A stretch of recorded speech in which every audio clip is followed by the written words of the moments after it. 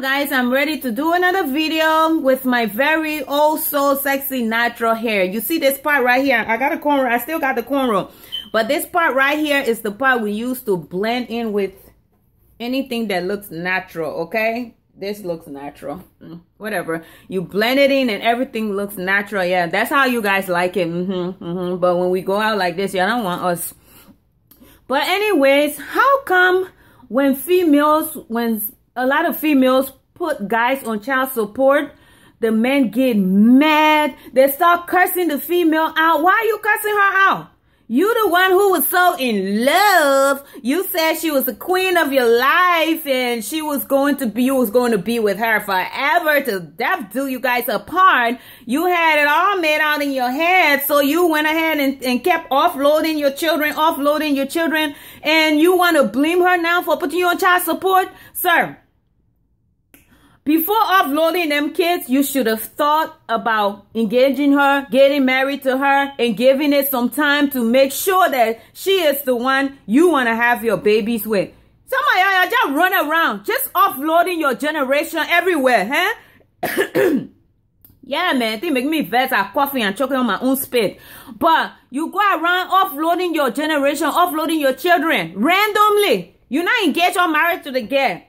So now the girl got to raise that child and she puts you on child support, which works for her. As for me, I don't do it. I don't do child support. I have three children. I've been married once and the second relationship, it was a flop. Oh, well, it happens. I'm looking for me a pastor to get married to now because I'm growing spiritually and I'm, I, I actually want to stay away from these guys who want to call a female everything but a child of God and then, you know, get physical with you, verbally and physically abusive. Those, are, I, I, I don't need that anymore. I need me a pastor. Amen to that. Amen. Glory be to God. Hallelujah.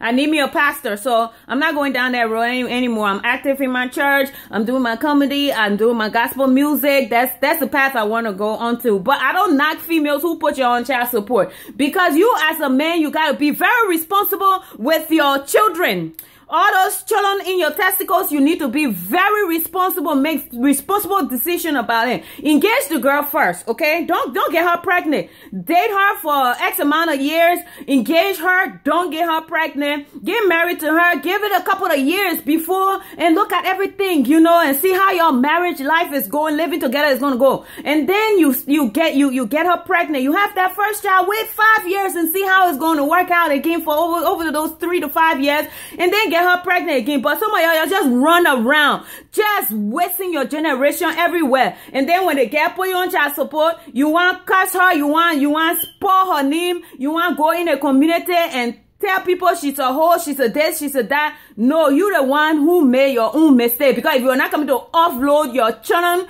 she wasn't, you wasn't going to have these kids running around and these women putting you on child support. You have yourself to blame. Blame your bad. Blame your bad. If you don't know what bad is, bad is another slang that Liberian use as a pidgin language. We use it to, for, to, to, that's the name for penis. Okay, bad.